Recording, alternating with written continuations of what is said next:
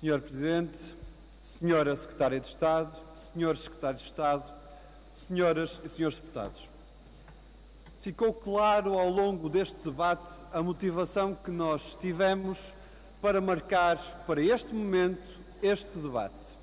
E a motivação clara tem a ver com o não esquecer as 21 mulheres que este ano morreram à, à mão dos seus companheiros. Iniciaram uma vida de amor, tiveram um fim de horror.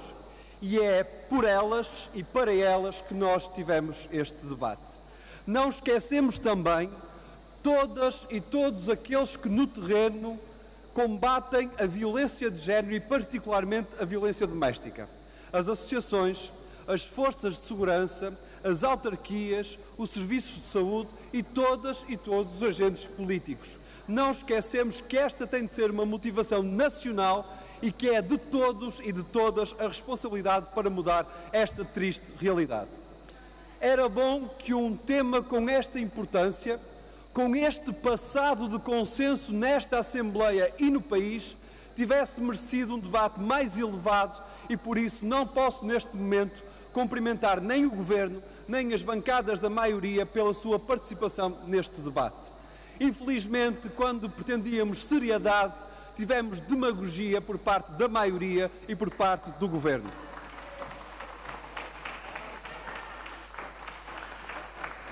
a serenidade que este debate merecia teve da parte do Governo uma postura de uma secretária de Estado acossada, magoada pura e simplesmente porque se debate este tema.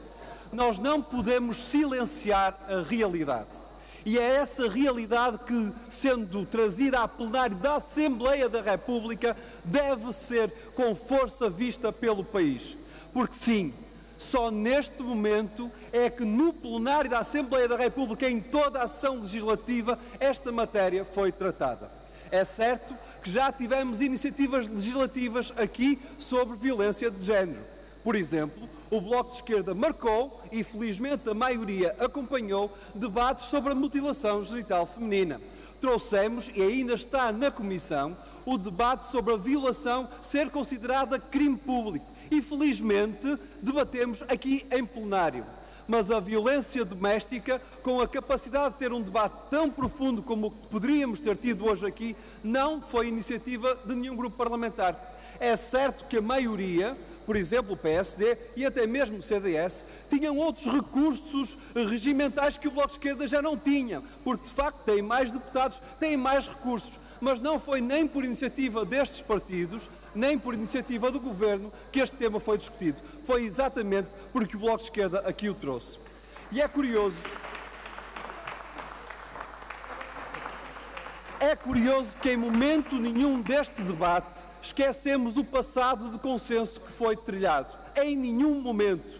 E não esquecemos o que mudou na realidade, quer no presente mais recente, quer no passado. Não esquecemos, por exemplo, as alterações que houve na violência doméstica com a conclusão do namoro foi matéria desta, desta legislatura. A alteração do reforço da vigilância eletrónica para proteger as mulheres foi matéria desta legislatura. E bem, e bem, conseguimos o consenso e agora os resultados estão à vista.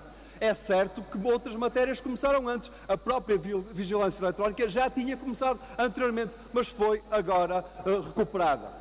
Mas neste conteúdo e neste contexto, não deixamos de apresentar preocupações e melhorias ao que atualmente está a ser feito.